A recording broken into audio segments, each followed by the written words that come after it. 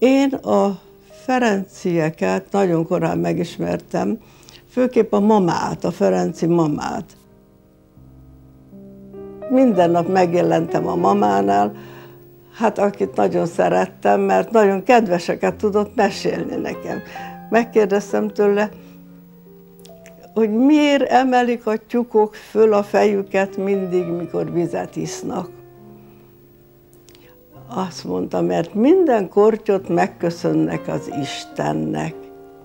Hát szóval gyönyörű dolgokat tudott mondani, hát ez persze, aztán ez így ment, ott úgy nőttem föl, hogy tulajdonképp majdnem náluk nőttem fel. Köztem és Béni között sok év külön, korkülönbség volt, hát ő már nagy fiú volt, én még kiskölök. És hát így ismertem mind a két fiút, de én nekem nagyon tetszett a Vallér. A Valléron színek voltak, mert fekete volt, fekete nagy szemei voltak.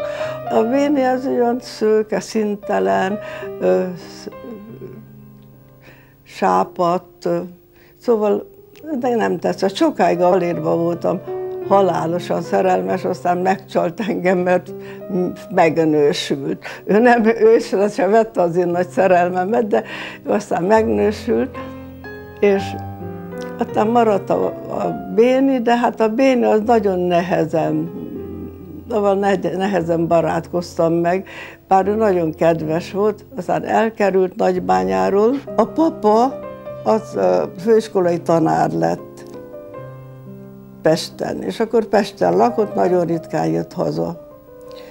Noémi maradt a legtovább otthon, mert Noémi férhez ment egy Körösi Krizsán Sándor nevű nagyon baloldali emberhez, de elvált tőlem, mert azt mondta, zavarja, ő nem tud feleség lenni.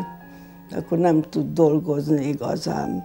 A mama bányász gyerekeknek nyelvórákat adott, angolt, franciát, németet, ki mire, mit akart, és nagyon sokan megtanultak, kitűnően megtanultak, ebből részben előnyük volt, részben hátrányuk volt, mert mikor a románok bejöttek, akkor a bányászok közül a intelligenciát ezt rögtön vitték. Jött aztán a háború persze, és hát rögtön előre vitték, és majdnem mind meghaltak.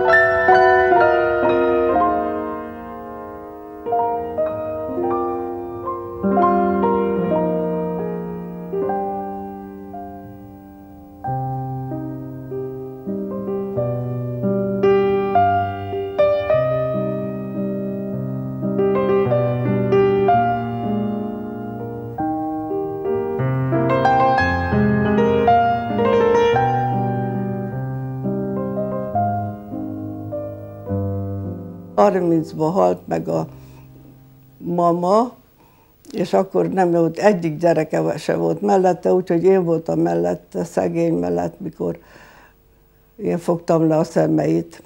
És a gyerekek nem is voltak a temetésen, de ott volt az egész nagybánya. Aztán Bíri elkerült nagybányáról végleg, mert megnősült, elvette a Ivon von Ungermant, egy, egy osztrák magasrangú katonatisztnek a lányát, és aztán két gyerekkel jelentek meg Nagybányán.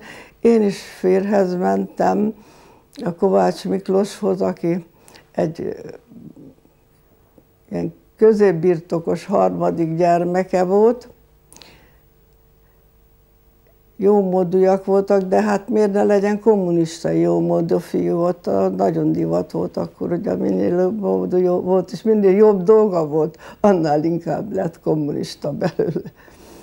Aztán elkerültünk, nekem is lett egy fiam, és akkor elmentünk Párizsba, és ott három évig éltünk Párizsba, és visszajöttünk, Béni otthon volt,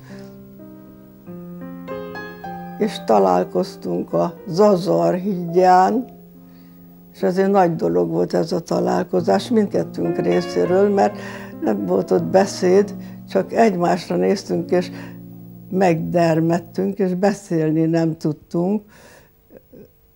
És hát aztán mondta, hogy nagyon csinos a ruhám, mondtam, igen, ezt Párizsba csinálták, és hát akkor aztán elváltunk, és hazament a gyerekekkel, feleségével, én is, akkor nem láttuk egymást sokáig.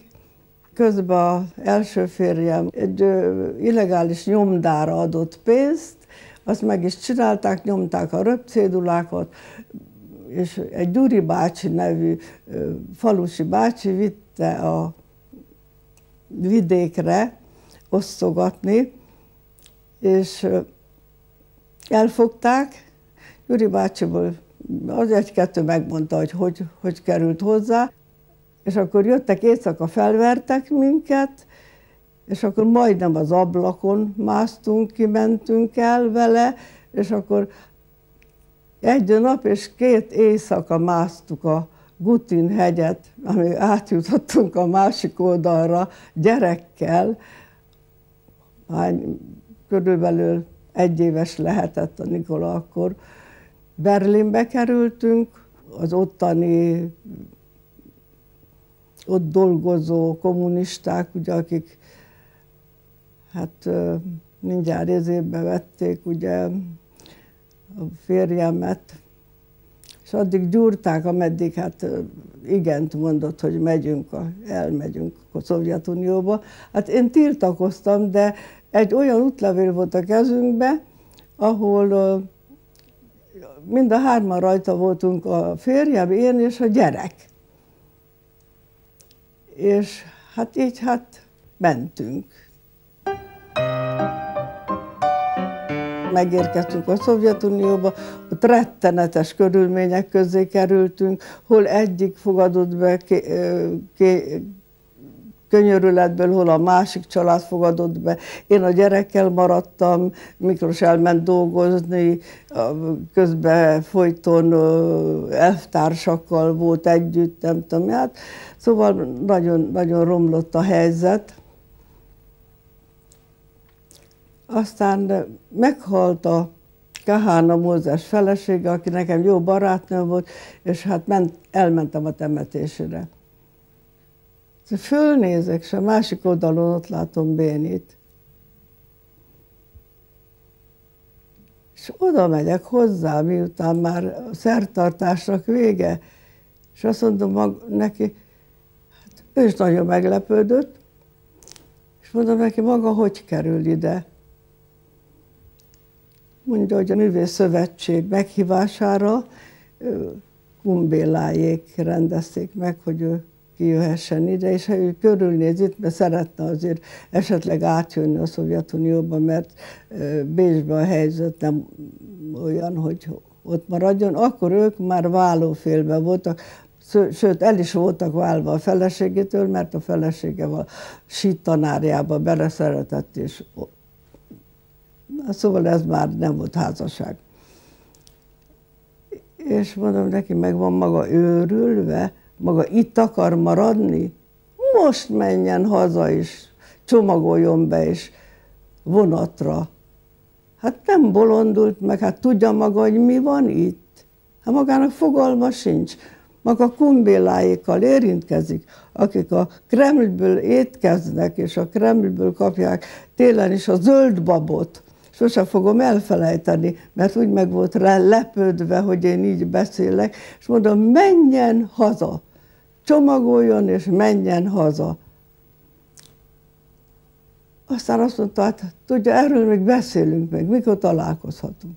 Aztán hát találkoztunk, elkezdtünk találkozni. És a végén aztán összeköltöztünk, és együtt éltünk. A gyerek velem volt, óvodába adtuk, és én vittem minden reggel a Nagy Bözsővel együtt, aki egyidős volt vele, a Nagy Imre lányával, együtt is óvodába, és én mentem értük. Sokat volt beteg a Nagy Imréné a Szovjetunióban. Borzasztó helyen laktak egy nyomorúságos szobába, ami tulajdonképpen csak az ágyra emlékszem, amiben mindig feküdt az a szegény asszony, mindig beteg volt. Na és akkor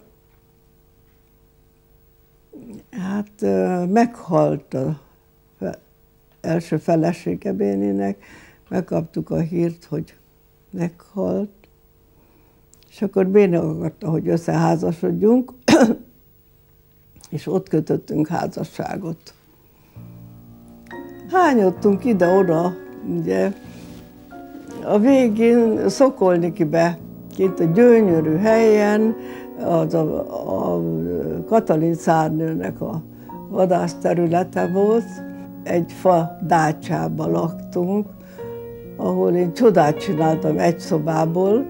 Ez én tehetség vagyok, hogy otthon teremtsek. És nagyon szépen megcsináltam. Péni nem kapott munkát.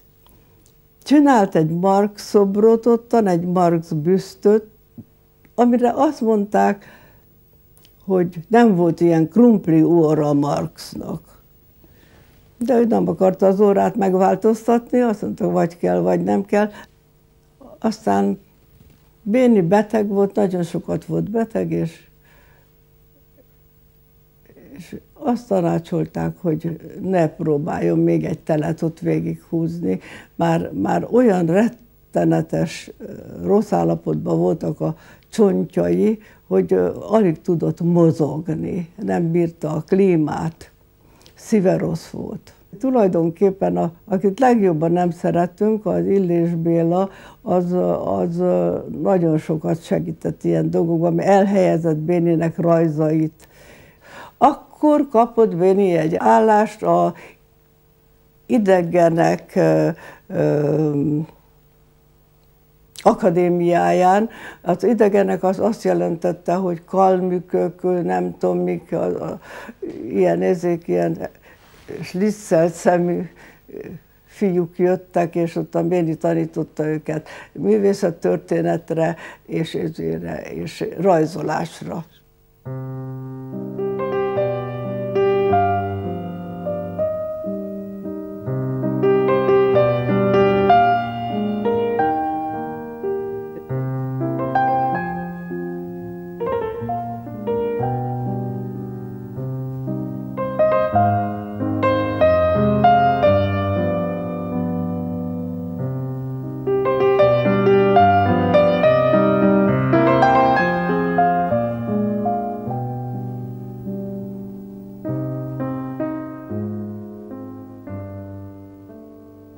volt nekünk fizetve egy, egy ö, ö, műteremre, sok pénzbe volt fizetve egy műteremre, és már, már kész is volt a műterem, lakásműteremmel, hát mi le akartunk ott telepedni tulajdonképpen.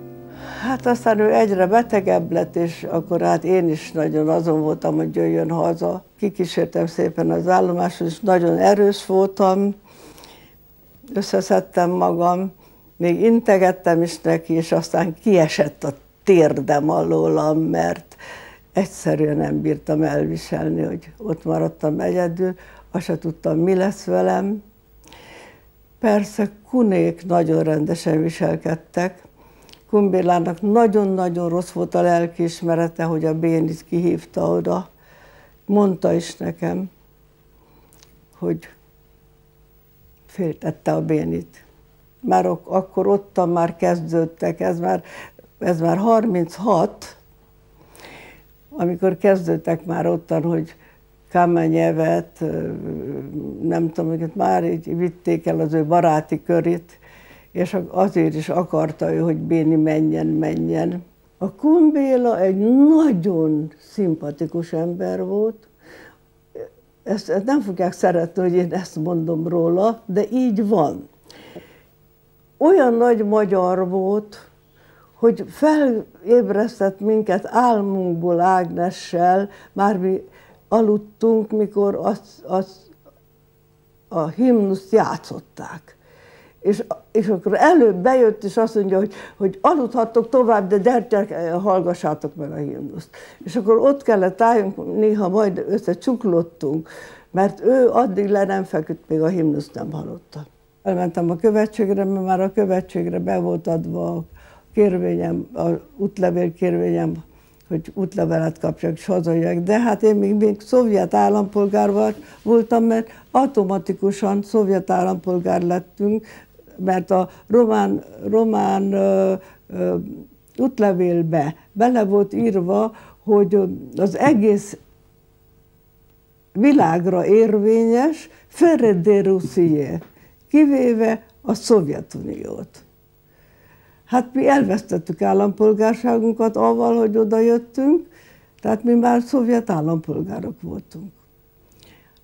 Én mentem lemondani a szovjet állampolgárságomról, és ahányszor a hivatalban voltam, irtózatosan lekaptak a lábomról, összeszittak, azt mondtak, szégyeljem magam, hogy ilyen állampolgárságról lemondani, amire büszke lehetek. Hát azt mondtam, nekem másképp nem kapom meg az osztrák levelet. Maradjak itt, mi bajom van nekem, mit mondták már. De hát addig jártam, ameddig egyszer, hát mégis megkönyörültek rajtam, és és kiengedtek. Nagyon nehéz volt a gyereket ott hagyni, mert a gyereket az apja nem adta. Akkor nem adta, amikor már tudta, amikor már ő nekem ilyeneket mondott, hogy, hogy, hogy térden csúszva jönne vissza a határig, hogyha lehetne. És akkor azt, azt mondtam, akkor Béni, mikor kijött, kihozhatta volna a gyereket legálisan, már úgy legálisan, mert az ő gyereke, az ő fia ugyanolyan korú benne volt az útlevelébe. Hát kihozhatta volna nyugodtan, de hát nem akarta ideadni. Azt mondta, hogy a gyereknek ott van a jövője. Hát az 20 esztendeig nem találkoztam a gyerekemmel.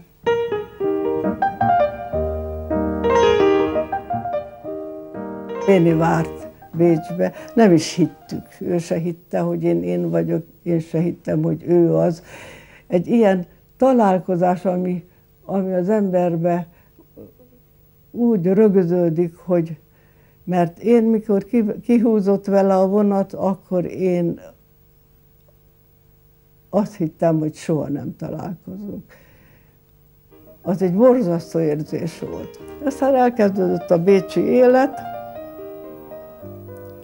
elég nehezen ment, de Billinek nagyon sok barátja volt, mind művészettörténészek. És jól éreztünk magunkat Bécsbe, de aztán bejött Hitler. Aztán az érintve voltunk nagyon, ezek közül sok zsidó volt, sok a fiúk közül, akiknek szél kellett szaladni, akkor az volt a tennivalónk, hogy majdnem minden éjjel mentünk a határra, svájci határra, vittük őket, átdobtuk őket, segítettünk nekük. Az ott is elárultunk, mert az borzasztó volt azért az, az a Hitler rájöttan, az a megszállás. Béninek állandó hasmenése volt, attól a persze fogva, hogy Hitler betette a lábát, a bevonulást láttuk. Egy napon aztán egymásra néztünk, azt mondtuk, hogy hát mit csináljunk, menjünk haza. Aztán fogtunk magunkat mind németek, mert hát kaptunk mi német útlevelet, hát annaktálták Ausztriát. A jó kis osztrák útlevelünket elvették, mert Ausztria nem létezett. És akkor jöttünk, mint németek szégyen szemre Magyarországra, ahol hát próbáltuk mi megkapni a magyar állampolgárságot, de hát nem lehetett, nem, nem, nem reagáltak rá. Mindig. Aztán akkor bevetettünk egy-egy ilyen nőt, például a Bajor Gizit. Az Bajor Gizinek nyíltak ki az ajtók, és így fogadták. De mikor elmondta, hogy hogy miért jött, hogy Ferenci Béninek magyar állampolgárságot, akkor azt mondták, művésznő, hisz a maga barátja bolseviki.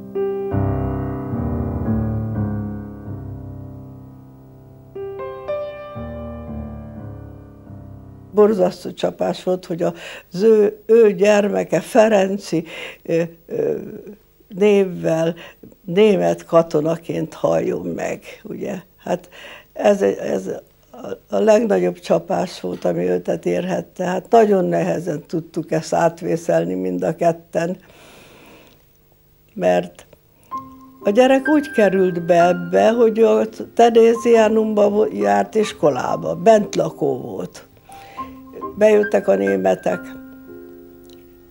Pécsbe, és előbb a tanárokat szedték össze, elvitték katonáknak, akkor két évig tanította eh, Matyi, a Véni fia, a matematika, fizikát az osztályába, és aztán rá is rákerült a sor és már mi Bénivel azt terveztük, és már csináltuk a terveket a mentésre, hogy hogy fogjuk menteni, mint német katonát, ugye? Mert hát, hát tudtuk, hogy eljön ez az idő, hogy a németek majd meg lesznek verve, de hát azt nem gondoltuk, hogy a gyerek előbb el fog pusztulni. Poácsiéban van eltemetve.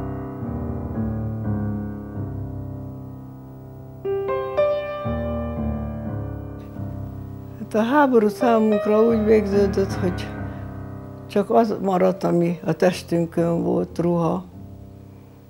Mindenünk elégett, mindenünk elveszett, mindenünk elégett. Emléknév maradt belőle ez. 1700 foknál olvad a, kezd olvadni a bronz, és ez bizony már elolvadt az alsó része. Nekünk úgy lehetett kimenni csak az égő házból, hogy a, azon a helyen, ahol oroszok voltak.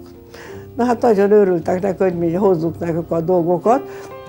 Ugye mindjárt a csomagokat is elvették, amik nálunk voltak, de a kabátot is. Nagyon sokan voltunk, mert 18 volt a zsidó menekültünk, akik átvészelték a dolgot, velük megúsztuk. De hát most itt jött a baj, hogy hova menjünk ki, hova menjünk. Hát mindenki aztán elszélet. Péni kapott egy szívrohamot, nem tudott járni.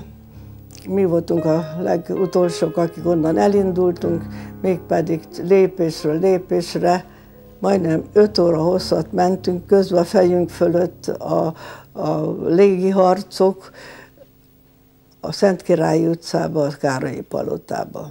Hát mikor elcsendesültek már a lövések, és, és a, akkor uh, Szent Györgyi az volt az első, hogy élelmet szerzett, hogy három vagy négy ilyen teherautóval küldöttek élelmet, amit mi osztottunk ott széjjel. Na és akkor Szent Györgyi visszajött, elkezdett politizálni. Ő azt hitte, hogy itt most lehet valamit csinálni, valami magyar dolgot lehet csinálni, ugye? Aztán addig, addig politizált, addig volt, ment ide, ment oda, ezt is meg azt is tette, amíg aztán kitalálták azt, hogy nagyszerű lesz ez a szovjet, magyar-szovjet barátság. És ebbe a Zilai is, aki, aki a, pedig a leggyávább ember volt, ugye ő, mindentől félt az Zilai, Én nagyon szerettem, de, de nagyon gyáva volt. Ő vonzotta az oroszokat, ugye este ez kiment az utcára, és levetköztették, majdnem pucérra, ugye, és ez többször megtörtént vele. Hát akkor összejöttek el, ezt fogják csinálni, akadémia, és újraválasztás, és, és akkor került be a Pácai akadémiára, Hát persze gondolta rögtön, hogy Béni, és aztán Béni nagyon mondta neki, hogy Albert, legyetek szívesek, hagyjatok ki engem minden ilyen dologból. Én annyit éltem már át oda át, én annyira ismerem a dolgokat, én nem játszok most. Szóval én nem játszok, érted? Azt mondta Albert, hát sajnálom, mert azt hittem, hogy jó partnerem leszel. Azt mondta Béni, hogy hát partner, ez bármiben leszek, de ezekben a játékokban nem. Ezt meg is értettem, mert nem is lett akadémikus Béni. Aminek hát nagyon örültünk, mert onnan is kirúgták volna úgyis, ugye.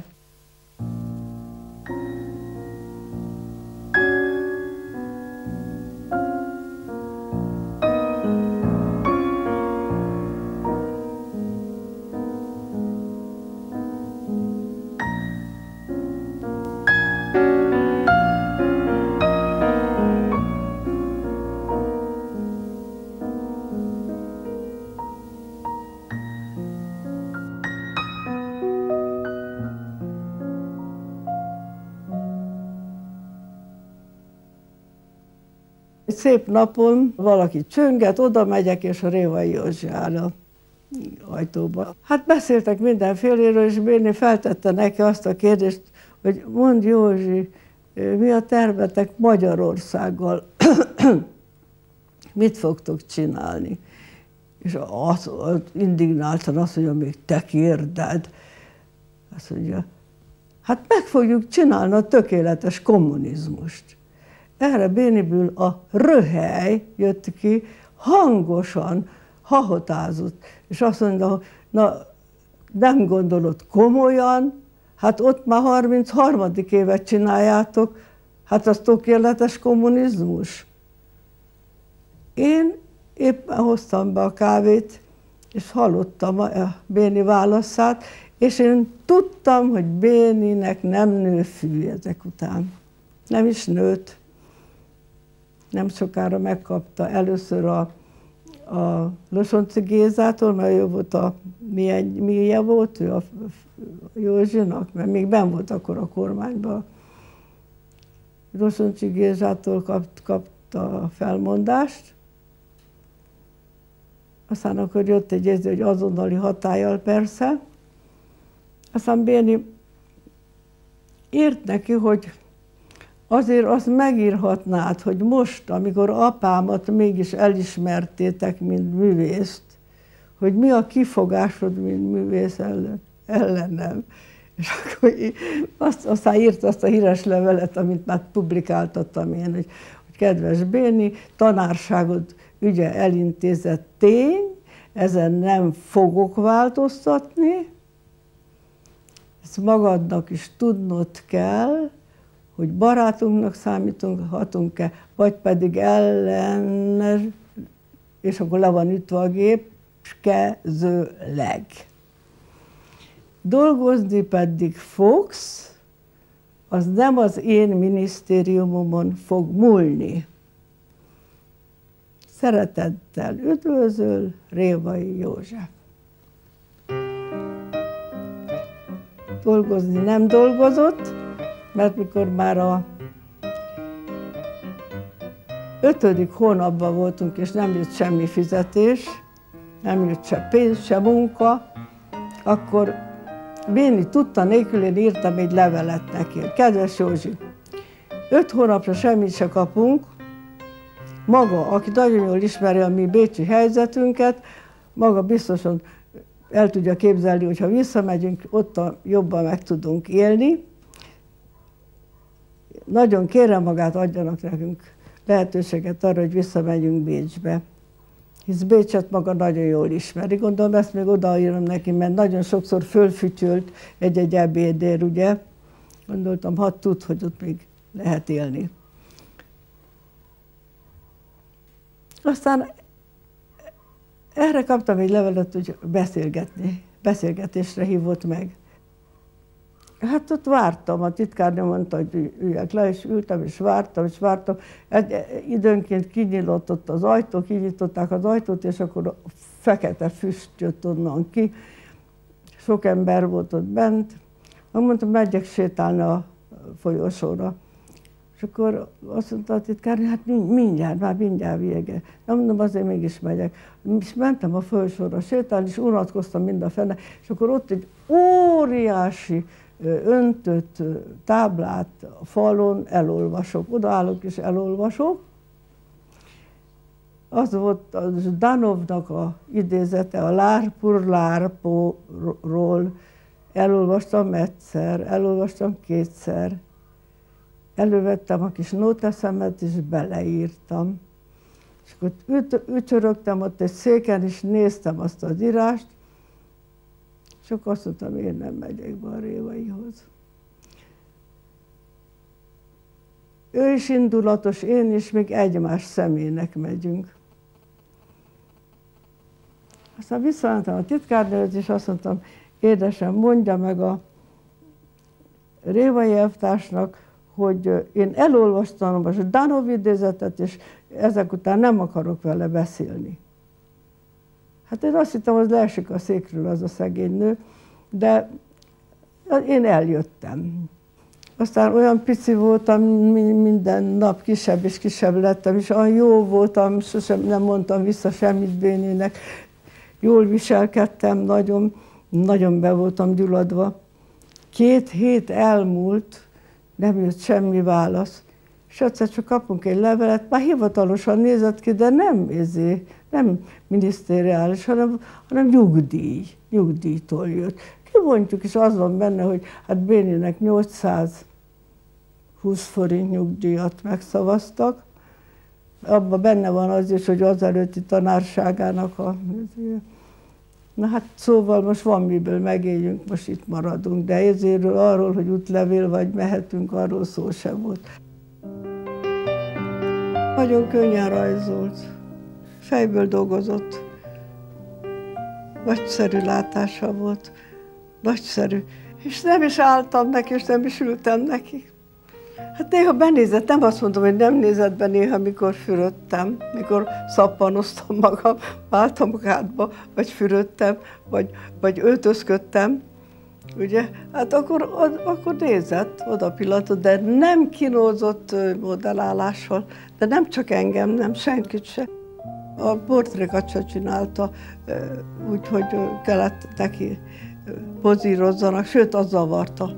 És ha az illető elment, akkor elkezdett dolgozni. Hát a legkülönösebb dolog az azért, hát nem tudom, hogy ez, ez érdekes vagy nem, de hogy ö, elkerülhetetlen volt, bár ő el tudta kerülni, hogy nem csinált semmi ö, programdolgot, és, és kikerült, ki tudta kerülni, mert a Lenin ugyan ő csinálta, de azt az 30-as években, Bécsbe, ugye? De semmi ilyen érzét nem csinált, ami...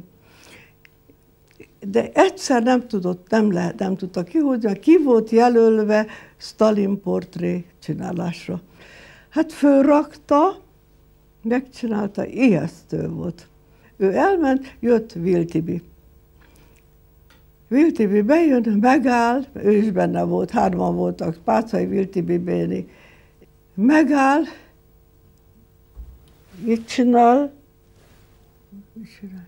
Azt mondja, ebben benne van az összes gonoszság, ebben benne vannak az elvek, ebben benne van így, ilyen tibisen, ugye?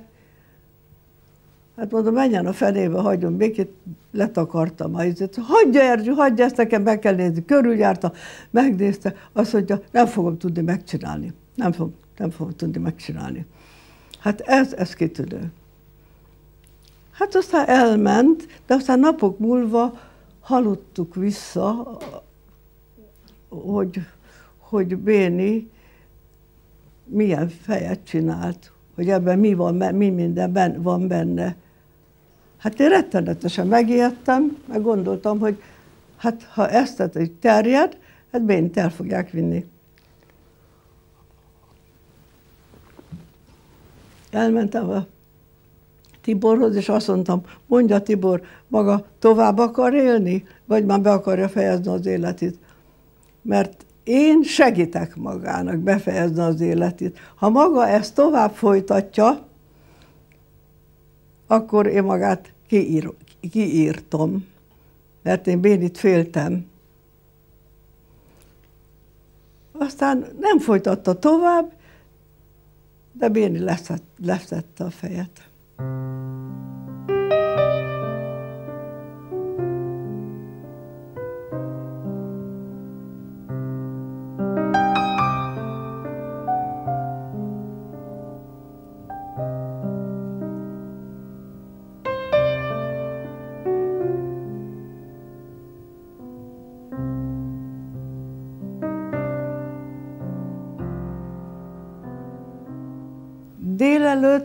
elmentem a parlamentbe, beszéltem a Nagy Imrénével, és mondom neki, hogy, hogy hoztam vitamint, sokat, hogy nem kéne Imrének. Jaj, de hogy is nem, ha adsz, akkor az nagyon kellene. Ott találkoztam a Vas Zoltánnal, már, akkor már arról volt szó, hogy, hogy már az oroszok jönnek vissza. Már mindenki kezdte mondani, hogy jönnek vissza, jönnek vissza, de még mi nem tudtunk azért, úgy, úgy, úgy és nem, nem, nem is nagyon hittük. És akkor az Zoltának mondom, mondja Zoltán, igaz ez, hogy jönnek vissza az oroszok? Azt mondja, hát mondanak ilyesmit. Mondom, de hát mi lesz akkor? Azt mondja, nézze, ők jönnek vissza a szajréjér, így mondta, szajré. Ők jönnek vissza a szajréjér, és, és majd elviszik. Mondom, meddig jönnek a szajréjér?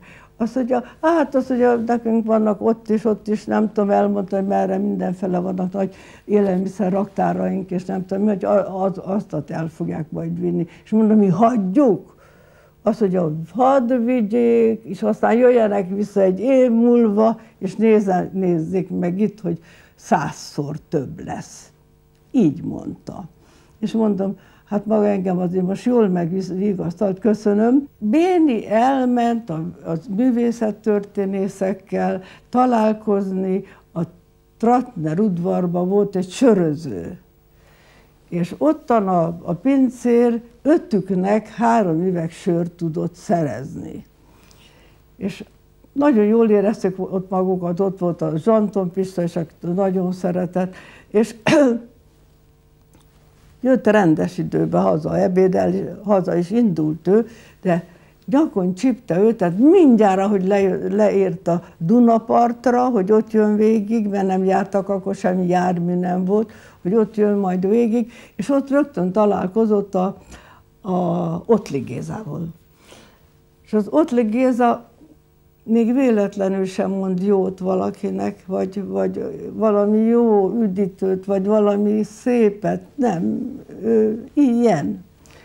És akkor megfogta a Bénének a kabát, hajtókáját, és mondta, mondta, mondta, hogy, hogy visszajönnek az oroszok, 200 ezeren jönnek, ennyi tankkal jönnek, ennyi ember jön, ennyi nem tudom Béni el akart egy párszor szabadulni tőle, de, de fogta erősen. Na, végre megérkezik Béni, nagyon rossz állapotban, mert én már annyira ismertem őt, mert ő, ő ottan a Szovjetunióban nagyon tönkrement a szívével, és mikor neki elszínesedett az óra hegye, akkor én tudtam, hogy ő a szíva ottan már így csinál, már nem rendesen ver. És akkor hátradőlt itt, és oda, oda tette a, a, fotói füléhez a fejét, és elaludt. Szól a telefon, én fölkaptam nagyon gyorsan a telefon, és mondom, hogy Béni alszik. De alig mondom ki, már Béni ugrott, és jött a telefonhoz, hogy mit mondott Béninek, azt nem tudom, de egyszer csak azt hallom, hogy Béni és megfogtam hátulról a vállát, és belenéztem az arcába, akkor már rám esett. Úgyhogy akkor megfogtam és behúztam ebbe a fotóibe, és ott álltam. Ez szívtől jövő embolia volt, és nem agyvérzés. Egy év, két hónapig voltunk a Kutvölgyi kórházba, ahol mindent, amit lehetett, megtettek. Kaptuk a sok gyógyszert külföldről, barátoktól, jöttek a ikacsomagok, már nem volt elég hely a kórházba hova rakni, ami nagyon jó volt, mert ezzel tudtam az orvosokat és a, az ápolónőket. Bár ápolónőre nem nagyon volt szükség, mert én állandóan bele voltam éjjel-nappal. Ez tartott e- egy év, két hónapig, és akkor ő már olyan állapotban volt, hogy haza mertem vele menni, hogy otthon meg tudok birkozni a dolgokkal. Hát birkoztam. És otthon aztán jobban ment az önállósulása, mert, mert magára volt utalva, és engem sajnált, hogy túlterhel, és ő hamarabb talpra állt, előbb talpra állt, az kapott egy botot, és akkor egész jól tudott már a szobába közlekedni. Hát a jobb keze az sajnos semmit nem gyógyult, még csak meg sem mozdult a kis se. De hogy el legyen foglalva, hát sok papírt raktam elébe, meg ceruzákat. De az első ceruza, amit a, odaadtunk neki, sokkal előbb már, Juhász Feri adott neki előbb egy ceruzát, de azt a szájába vette, és ránézett az emberre, hogy mit csináljon vele. Nem tudta, hogy mire való. És azt, mikor kezébe adtam, és mondom, hát rajzol, nézd, lehet vele rajzolni, akkor ahol szorakozott. Oda tettünk neki papírt, és állandóan rajzolt. Egy pár nap múlva a káoszba, amit ott csinált, abból megjelent egy egy női fej, aztán egy, egy, egy fél akt, aztán egy, egy fél ló, és akkor hát ez így ment hosszú hónapokig, és a végén aztán jöttek mindig jobb és jobb rajzok, jobb és jobb akvarellek, és már ő, ő már kérte is, hogy hozzak neki dolgokat rajzolni. És akkor rólam is csinált egy pár rajzot, vonalrajzot. Első szobra, arról van egy öntvény is már, hát nagyon szép kis szobrot fölrakott. Aztán, mikor már az bronzba öntöttem, és öntettem, és megmutattam neki, akkor kutatva nézett rám, hogy igen. Hát mondom, igen. Hát ezt mondom, ez teljes értékű dolog és hát csak folytasd és csináld tovább. Az öreg Fülep Lajost kivéve, öregek nem jöttek, csak fiatalok. Hát a Szabó Lőrinc az, az azt hitte, hogy én nem jól tanítom, eljött délutánonként, ekkorába az ABC-t megrajzolta, lerajzolta, ekkora kis érzékbe, és akkor tartotta. Bénikém, na figyelj, ez A. Mond, mond, hogy A. Mondta Béni, A. Bénikém, ez B. Mond, hogy B. Akkor mondta B. Akkor összetette ma még egy B, ismered a B-t, ugye, ismered, akkor ez B, ez A, ez A, ezt tudod, igen, na, bab, mondd, hogy bab. Hát persze, ilyen egyszerű dolgokat ő ki is mondott. Sőt, a legfurcsább az volt, hogy tükörbe olvasott a legjobban, tükörírásba.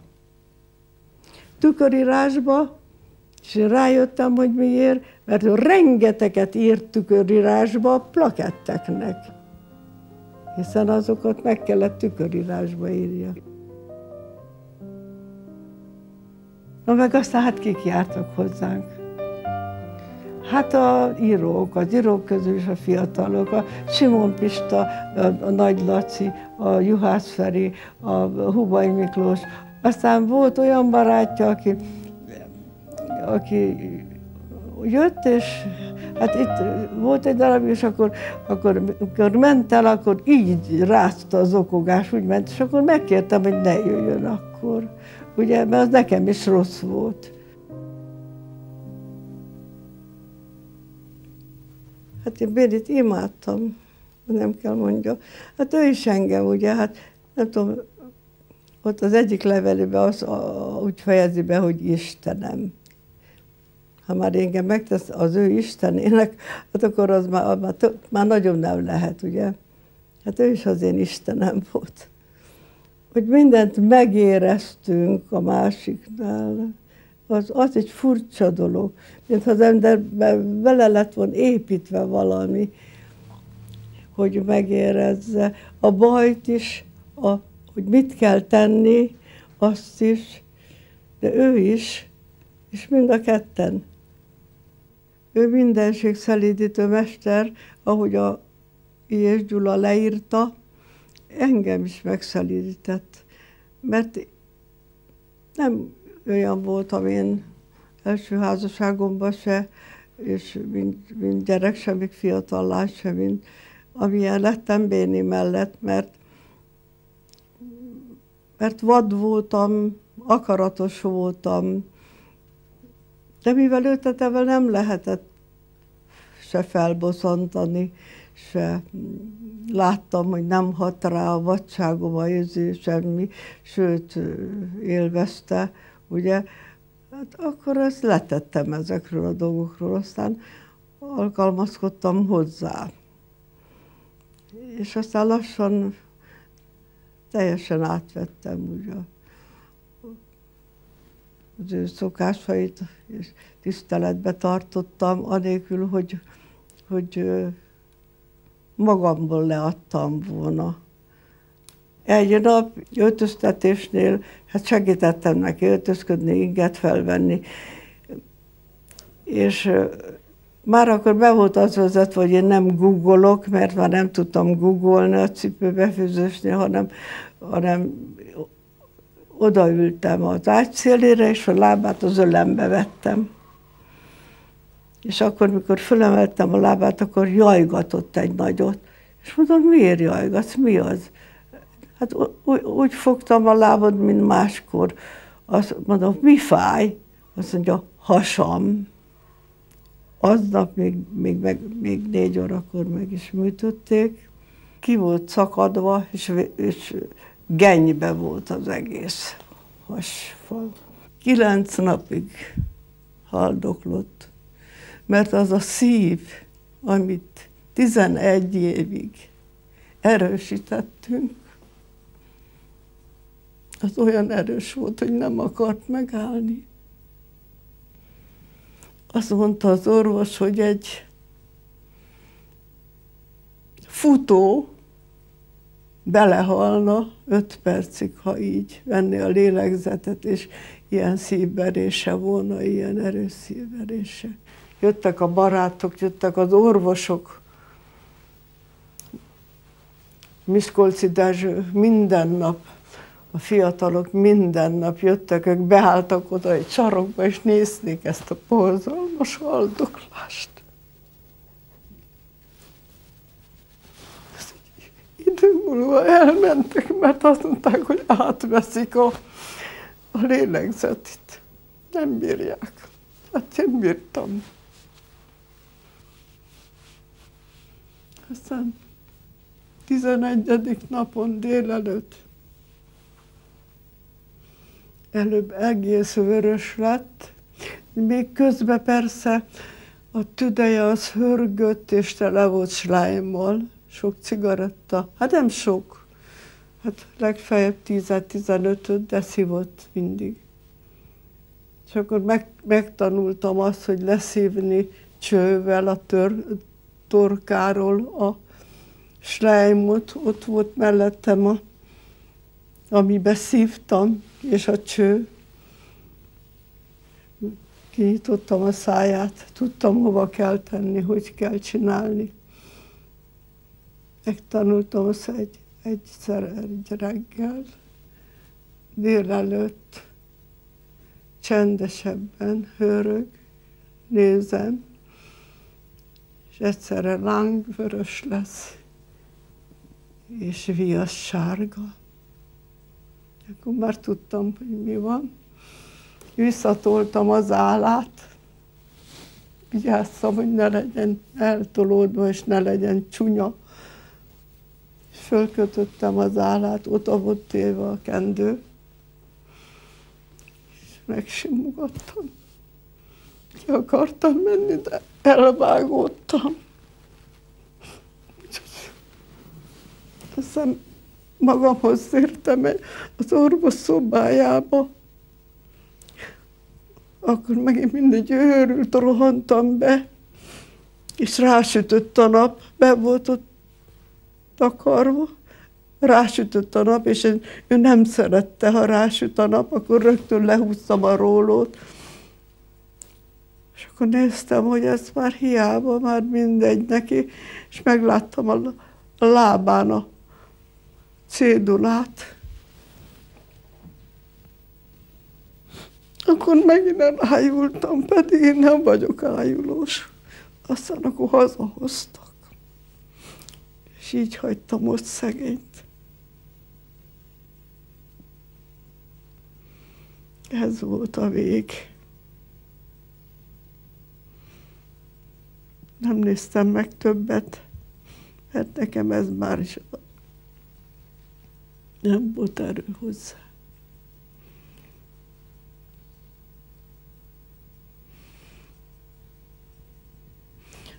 Ő azt akarta, beszéltünk mi előzőleg mindig, erről, hogyha a másik meghal, hát akkor mi lesz.